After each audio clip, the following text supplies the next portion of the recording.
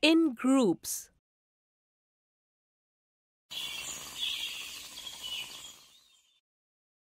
Friends, today in this video, we are going to learn counting in groups through the conversation of Honey Bunny and Bunty.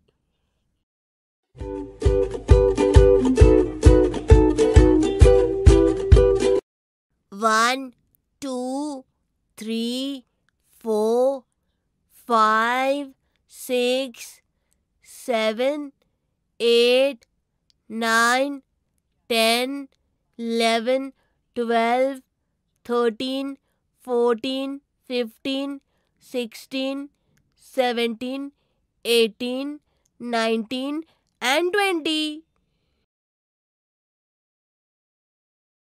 How are you, Bunny? I am absolutely fine. Look, I have made a bouquet with flowers of different colors for you. Oh, wow, Bunny! You have done a wonderful job by putting all flowers in pairs in this bouquet. What is this pair now? Hey, actually, pair means a group of two similar things. Look, this has two red flowers, two yellow flowers, and two pink flowers. Oh, yes, honey, this bouquet has three pairs of flowers. Yes, so there are six flowers, a total of three pairs. Oh, wow! It is very interesting to count in pairs. Honey, will you come to my house and help me in counting carrots? Yes, let's go, Bunny. Oh, Bunny, there is a pile of carrots here. For this, we will have to take someone else's help. Look, Bunty is coming. Come on, let us seek his help. Hey, Bunty, how should we count these carrots? Come on, let us count them in groups of five.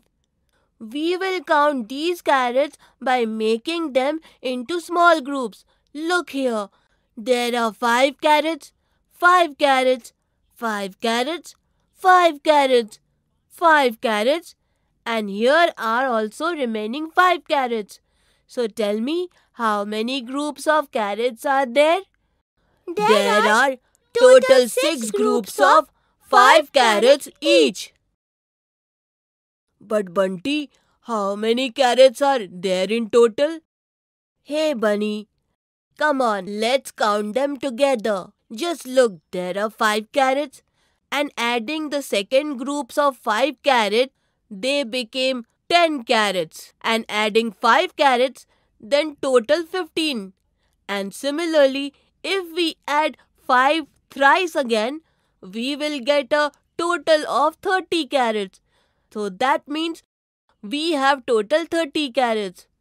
Oh wow! Now I have learned to make groups and also to count in groups. Bunty, can we again make a pile of these carrots, place them in groups of 10 and count them? Yes, surely. But this time Bunny will make groups of 10, right Bunny? Yes. Look honey, these are 10 carrots. 10 carrots and the remaining 10 carrots. So here we have 10, 10 and 10. Total 30 carrots. Well done, Bunny. Very good. Okay, now I will leave.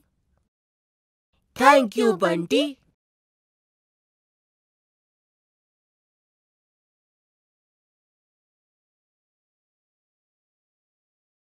Today, in this video, we have learned counting in groups.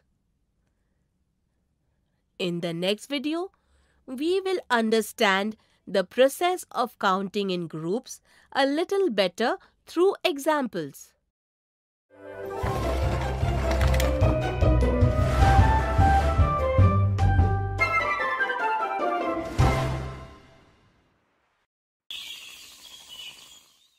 Friends, today in this video, we will understand more about the process of counting in groups with a few interesting examples.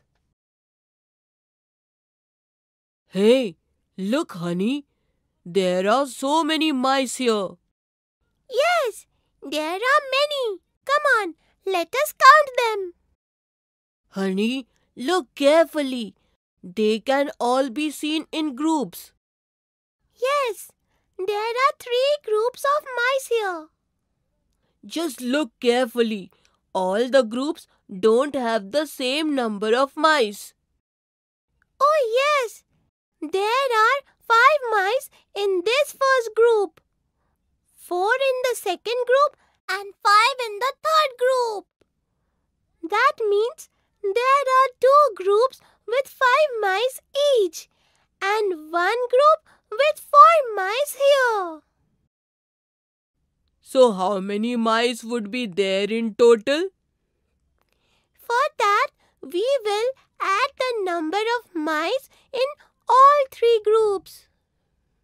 But honey, if we find out the total number of mice in the two groups of five each, it would be 10 in which if we add the remaining 4, that is, if we add 4 to 10, the total number of mice here will be 14. Well done, Bunny. You found out the number of mice with an easy method. Come on, now let us look at another example. Bunny, can you tell me that how many pairs of walkie-talkies are over here?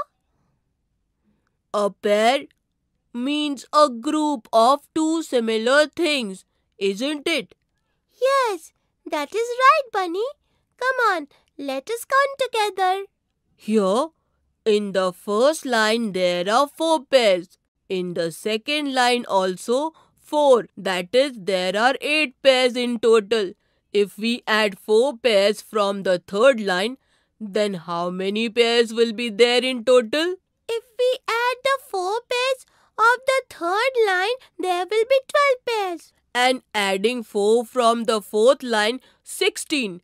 So there are 16 pairs of walkie-talkies here. Yes, Bunny. Now tell us that if there are 16 pairs of walkie-talkies, then how many walkie-talkies are there in all? There are 16 pairs of walkie-talkies. Every pair has two walkie-talkies. That means there is a total of 32 walkie-talkies. Well done, Bunny! Children, I hope that you must have well understood the process of counting in groups. In the next video, we will watch some interesting examples related to this.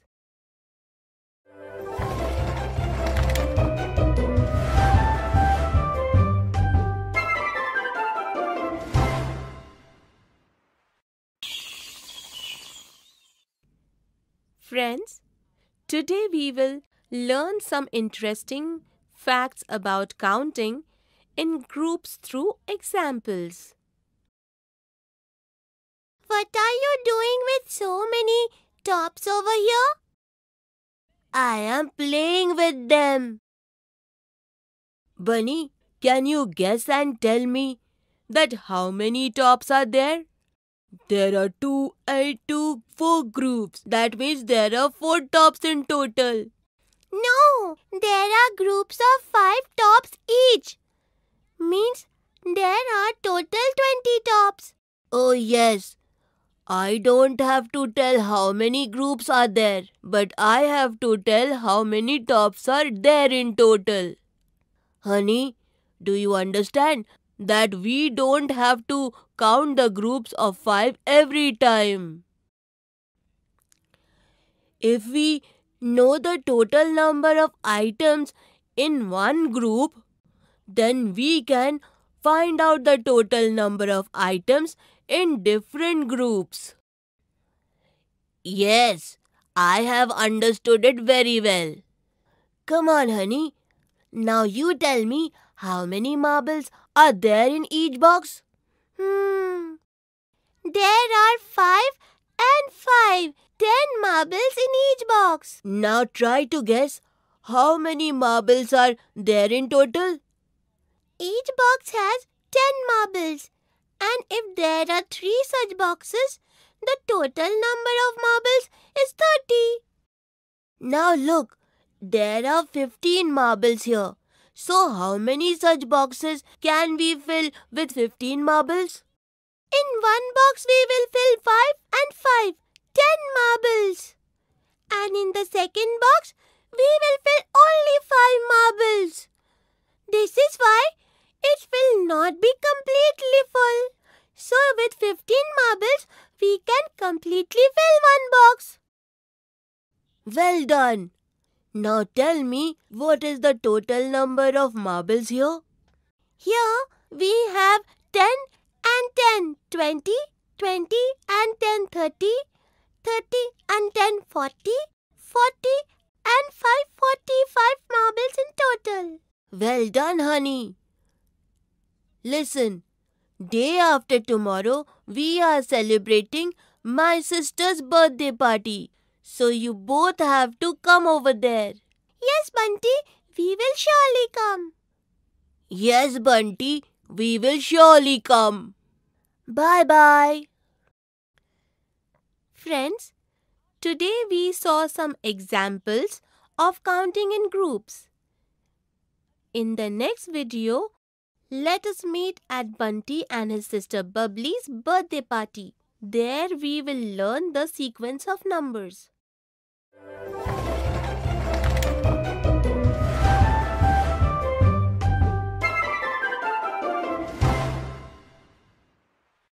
Order of numbers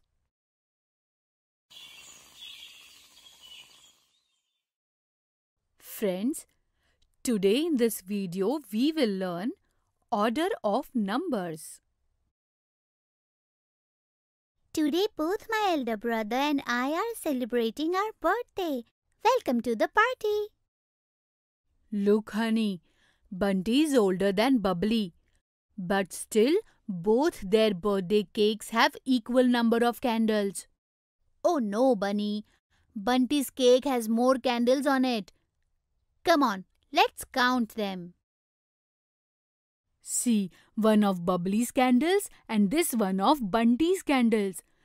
This makes it 1, 2, 3, 4, 5 candles.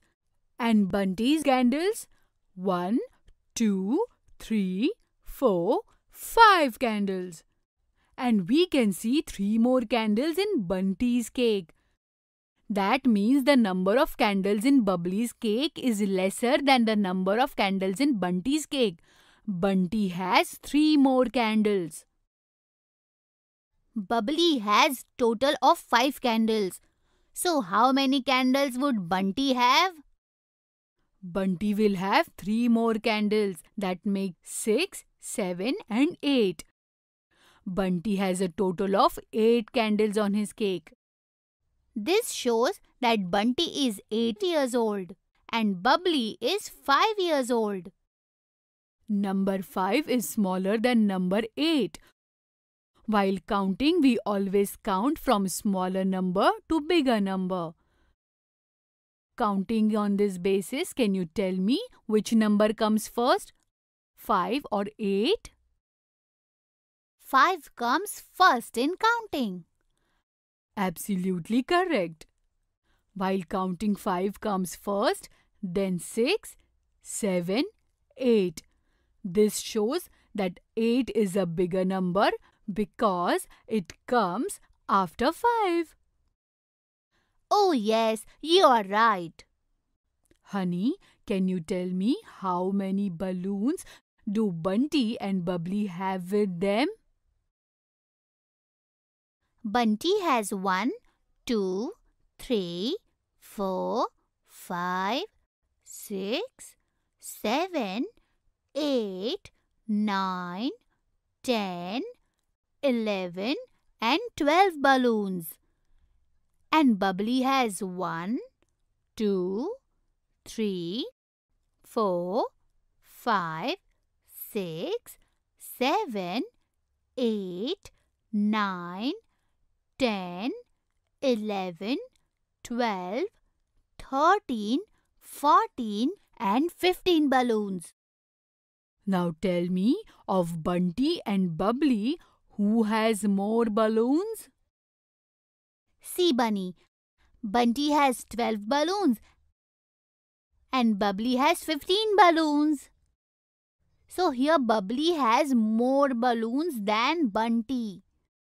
15 is a bigger number and 12 is a smaller number compared to it. Now tell me which number comes first in the order of counting? Is it number 12 or number 15? While counting, 12 comes first, then comes 13, 14, 15. Now tell me, how many more balloons does Bubbly have? Here is one balloon of Bunty's, here one of Bubbly's. Two balloons of Bunty and two balloons of Bubbly. Similarly, both of them have three, four, five, six, seven, eight, nine, ten, eleven, twelve. Bunty has 12 balloons and Bubbly too has 12 balloons. Oh, what is this? Bunty is left with no more balloons, but Bubbly still has 3 balloons left with her. So we can say that Bubbly has 3 more balloons than Bunty. That is, she has 15 balloons with her. Come, let's cut the cake. Everyone wear your caps. Happy birthday to you. Happy birthday to you. Come, on. Now, let, us all go. Okay, bye bye. Children, in this video we learned about the order of numbers. In the next video, with the help of some interesting examples, we can understand it better.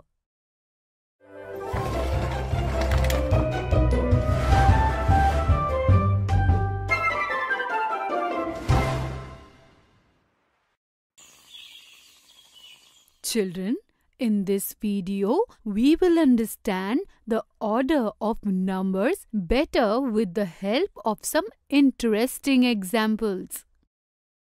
Hey honey, look, there are two boxes of balls here. Which box has more balls in it? One box here has one, two, three, four, five, six, seven, 8, 9, 10 balls. And the second box has 1, 2, 3, 4, 5, 6, 7 and 8 balls. So the first box has more balls than the second box. While counting, which number comes first? 8 or 10? Yes, while counting, 8 comes first. So 8 comes before 10. Absolutely right. 8 is smaller than 10. That is why 8 comes before 10 in the order of counting. Now tell me, honey, what is the total number of balls in both the boxes? In both the boxes, there are total of 10 and 8 that is 18 balls. I will keep a third box here. It has 9 balls. Now tell me, out of the 3 given boxes, Which one has the least number of balls? The first box here has 10 balls. The second has 8 balls. And the third box has 9 balls. While counting from 1 to 10, 8 comes before 9 and 10. We can see that the smallest number here is 8. That is why the second box has the least number of balls. And the largest number here is 10. And hence the first box has the largest number of balls. Well done, honey. Now tell me how do we say 10, 8, 9 in the order of counting? Yes, while counting, we first say 8 and then we say 9 and 10. Absolutely right, honey. It is said in the order of 8, 9, 10. Wow, that's right. Come on, let's all go. Children, I hope you have understand small and large numbers and also understood order of numbers very well. In next video, we shall see some more examples.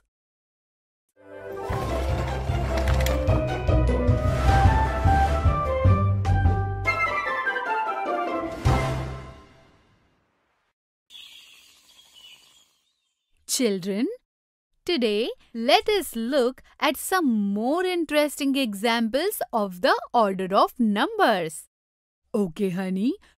Now you have understood how to find the big number and the small number of two given numbers.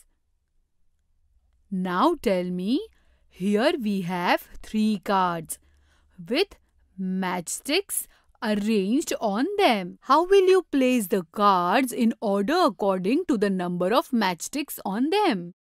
Let's see the first group of matchsticks on the yellow card.